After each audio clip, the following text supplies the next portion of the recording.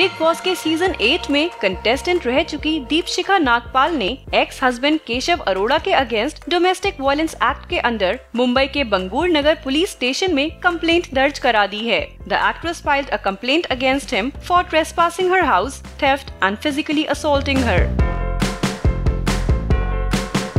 एक इंटरव्यू के दौरान दीप शिखा ने मीडिया को बताया कि उनके एक्स हस्बैंड ने उन्हें इतना मारा है कि ठीक से बोल भी नहीं पा रही हैं। Apparently Deepshikha and Keshav are already divorced in spite of it Keshav keeps coming to Deepshikha's place asking for money this time she was alone with her son when he physically assaulted her.